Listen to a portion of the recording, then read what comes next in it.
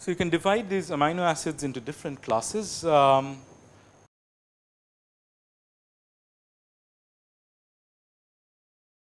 these are my 20 amino acids uh, glycine, alanine, serine, threonine and so on and so forth. You can sort of characterize the fundamental properties. So, one class of amino, so okay, so it is made up of carbon, oxygen, nitrogen, hydrogen, sulfur. This over here is my side chain which so this is the fundamental uh, the main chain and this is the side chain the side chain distinguishes the different amino acids there are few classes so one class is the hydrophobic amino acids which do not like to interact with water so whenever you have hydrophobic amino acids they'll try to tend to cluster together you could have hydrophilic amino acids um, which like water and therefore if you put in hydrophilic amino acids they will try to sort of stay away from each other and closer to water. Similarly, you can have charged amino acids um, and I will upload them which ones are charged and which ones are not. So, you can take these amino acids and join them together to form what is the protein backbone. So, here is my sequence of amino acids that forms this protein backbone. Given a sequence, the protein can fold in different ways. So, that first level what is called the secondary structure, you can have alpha helices and beta sheets depending on the sequence of amino acids and whether correct hydrogen bonding can form or not. Uh, so, you have this alpha helix and the beta sheets. So, these are called the secondary structures. You can have a high level structure which is called the tertiary structure. Um, so, for example, these you have alpha helices over here which coil am amongst themselves. Uh, so, this is for example, the hemoglobin protein. So, depending on how it folds, so this is the protein folding it determines its function. For example, the hemoglobin forms a pore where the heme atom can come and bind. And then there is the quaternary structure where different polypeptides can come to. So, hemoglobin contains four of these uh, heme oxygen binding sites and together you have this uh, hemoglobin protein and there are an immense number of them. Um, so let me that is all I want to say as far as proteins goes. So, you have the primary sequence uh, for proteins. So, the sequence from there on you have the secondary structure which are alpha helices and beta sheets and from there on you have the tertiary structure which is actually the folded structure of the protein and so on. So, when we go on to when we talk about protein folding later on in the course, we will sort of use these properties. So, again protein folding is sort of an open question, right. So, that is one of the most common themes that I will tell again and again in this course. Uh, no question in biology is completely solved, everything is an open question, right. So, that is why it is nice because you have a lot of areas in which you can contribute, um, but nothing is completely understood. So, protein folding is of course is one of the canonically hard problems um, to solve, but the way one at least starts to think about them is to try to group these amino acids depending on their properties depending on, so the simplest class of modeling depends on whether the amino acid is hydrophobic or hydrophilic or charged. And depending on that, you try to build a model which are called these HP models uh, of Dill and Thomas and company. Uh, anyways, I'll talk about that when I get to protein folding, uh, at least a little bit about that, not a lot. I have another video, so let me just. so, here is the sort of central dogma what I was talking about the transcription translation process. It is actually a fascinating thing. So, even if you know or if you have forgotten it is nice to know once again. So, here is my DNA strand right. It contains this A, T, G's and C's. I have this machinery of proteins that comes and binds to this DNA strand. It unzips the DNA strand which means it opens up this double helix and makes a single strand Okay? so, once you have made a single strand, this machinery sort of zips along along this DNA and it reads off this bases and it produces the mRNA. So, this yellow thing is my mRNA which is being produced. So, let me pause once, uh, but whatever. So, here in this DNA, it is where you have this A, T, G's and C's. On this yellow ribbon, which is my RNA, you have this A, U, C, G's and C's. Okay. So, that is where the uracil comes in. So, it produces a copy of this DNA in this RNA molecule. Okay. Now, the DNA contains introns and exons, uh, which means that only some parts of this are required to actually produce a protein. So, so gene, um, so I have this sequence, right? A, G, B, C, C, G, whatever. Um, it turns out that when you're producing the protein, not this, so it starts off at uh, let's say this A U G since that's what I said and that's my start and it ends somewhere at an U A A which is one of my stops. Okay. Um, so, that's that this whole thing is this yellow thing that is going to be produced in the read by one mRNA. Okay. It turns out that not all of these are required to produce the protein. Um, you have regions which are not required which are called the introns and regions which are required which are called the extrons. So, when the mRNA is produced it has both these introns and these extrons. The cell then snips off these parts which are not required. So, here for example, these green parts which are the parts which are colored green are the parts that are not going to be required for producing the protein. So, what the cell will do is that it will splice off those parts using another protein machinery which is called a spliceosome. Uh, so, here this thing the spliceosome will form, it will bring together the two ends of this green strand and it will cut them off. It will join the yellow parts to one another, so that the extrons are connected together. So, it is a fascinating thing how the cell does this sort of reproducibly again and again and again and again we do not understand the complete mechanics of this. So, it will splice off that green part at some point and join the extrons yes that is it. So, it will do that over the length over the length of the gene. So, gene typically will have many introns and exons. So, it will strip off all of these green regions and get you a continuous yellow strand which is all the coding part of the DNA, coding part of the gene. The green parts the non-coding parts. Okay. So, all those green parts have now been cut off and you have this polymer which is like this whole coding yellow polymer so, this yellow polymer is then ejected out from the nucleus. So, it comes out of the nucleus out in the cell cytoplasm. You have this another protein machinery which is called the ribosome. The ribosome then reads this mRNA, this messenger RNA, this yellow thing that came out and it constructs the protein. So, these green things are transfer RNAs which are bringing these amino acids corresponding to these sequences and as it brings in these amino acids it constructs the protein one by one by one or codon by codon by codon and this red thing comes out which is your protein. This red thing will ultimately fold and form the tertiary structure of the protein. So, this is the central dogma transcription DNA gives rise to RNA gives rise to proteins. So, this transcription translation process.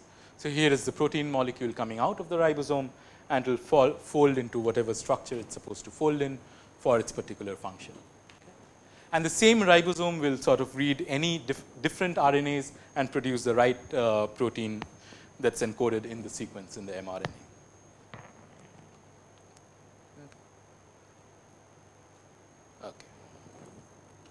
Here or when in the first part or in the second part? Not here. This one? Plate? Okay. those green things maybe it appears yellow those are the transfer RNAs these things right. So, these are the transfer RNAs these tRNAs contain an amino acid. So, they will have let us say a methionine or another tRNA will have let us say glycine and so on. So, corresponding to each amino acid you have this package which this transfer RNA which will bring this correct amino acid. Okay. So, once it brings it into the ribosome, the ribosome takes off this methionine and it releases the transfer RNA back. So, these are sort of your Amazon deliveries which are bringing the right package, so that you can incorporate them according to the sequence into the protein. Right. Now, as I said, so this part at least we understand uh, how this happens, the DNA produces RNA, produces proteins. But like I said, the cell contains many, many, many uh, genes, right. Genes are regions of the DNA. So, what is a gene? A gene is a region of the DNA which encodes for a protein, region that encodes for a protein, that encodes for protein. Okay. Um, so, of course, you have many, many millions of genes. It is not necessary that all of these genes are going to be active at the same time, right, um, or indeed active in the same cell type. So, how these genes are expressed itself is a field of study.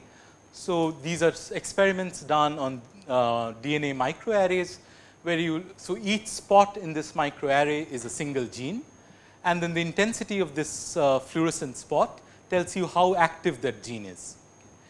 You can do that, so you can do this, so this is, this is a black and white microarray which you can convert to a color and then you can do that over a, over a period of time. So, this axis is time and you can do that for different genes.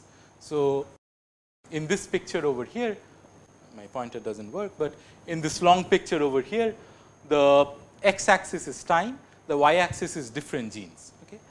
So, different and I think if I remember correctly green is sort of strongly on and red is strongly off. I could be mistaken, it could be the other way around. So, you will see that a gene stays on for some time, then it switches off and then again it turns on back at some other time. Something stays off, it switches on, then again turns off. And you can look at how these, how these gene expressions are correlated in time. So, which genes switch off with what other genes Okay, so you can build these correlation matrices among genes by looking at this sort of gene expression data as a function of time and that again tells you functional information about how genes crosstalk with each other, how different proteins interact with each other. So, if one protein is interacting with another protein, those two genes might be turned on at the same time or they may be turned off at the same time. So, these are enormously complicated, but again this data is available. We do not exactly completely understand this data of course, but uh, at least as far as modeling purposes goes a lot of data is available. Uh, so, again this gene expression omnibus is again an open source genomics database where you can go in and you can see what sort of uh, this gene expression data for different organisms for different cell types are available. And again these are slightly older numbers I am sure the numbers have sort of improved in the time since I took this slide. All right.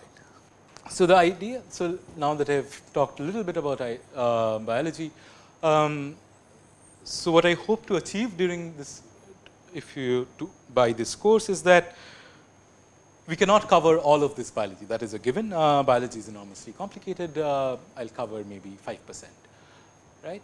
But what I hope that you will take away from this course is an idea of how should you given a biological problem that you are interested in how should you go about building a model that takes into account the quantitative data that is available and makes quantitative predictions. Okay.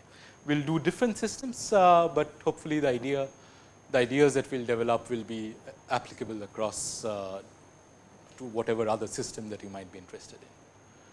So, the, the generic idea is that of course, you so, sort of try to identify which parts of the system are relevant to the question that you are asking and then you overlook the other parts, the other complexities and you develop a mathematical model and through that model you generate quantitative testable predictions. Right? What should this model satisfy? Of course, it should satisfy basic physical laws. Um, just because biology is complicated does not mean it can violate physics. So, you will have whatever conservation laws, you will have whatever laws of thermodynamics that we know. Uh, the key thing is to sort of identify what are the relevant features for the question that you are trying to ask. Um, so, if you are trying to ask about this chromosome folding, does it really matter what exactly the sequence is? Maybe it matters, maybe it does not, I do not know. You might say that well, because this is this is at a scale which is one third of a nanometer and this packaging is at a scale which is of a micrometer, maybe the exact sequence details do not matter. You may be right, you may be wrong, I do not know, but that is one of the key things that one needs to learn how to identify that what are the relevant features, what are the relevant spatial and temporal scales that I should be talking about. Once you have identified that, you can guess what is the correct physical description and write down these mathematical equations. Once you have a mathematical equation, you can generate predictions And then if you are right, great. If you are wrong, you tell yourself that you learned something which is true and you go back and generate a new better model hopefully. Just to sh show you what I mean by this identifying the correct scales and the correct features of the problem, uh, let me give one or two examples. So, here is DNA right which we have been talking about.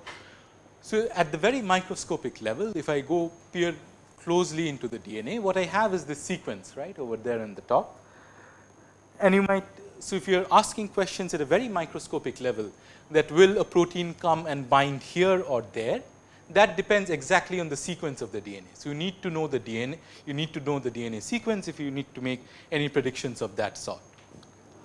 Um, you can maybe abstract a little bit and say that well I will just abstract this sequence into two types of sites a binding site or a non-binding site for the DNA and then this protein might have different maybe it has thousands of binding sites over the genome.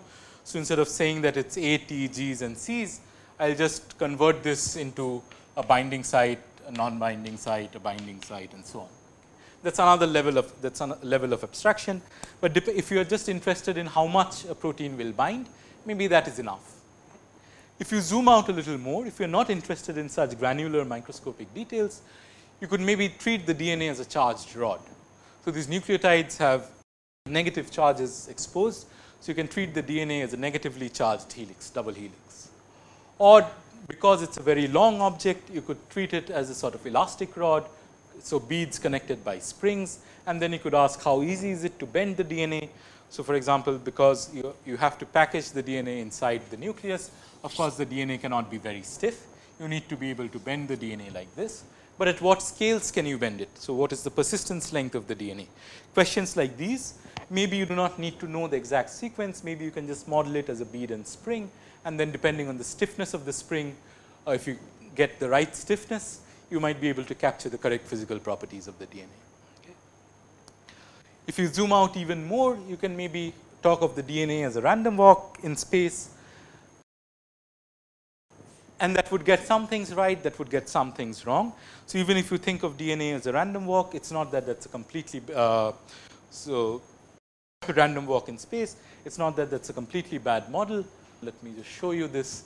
Um, so, some of you have done random walks, right. So, how does the end to end distance scale for a random walk with the number of base pairs or with time?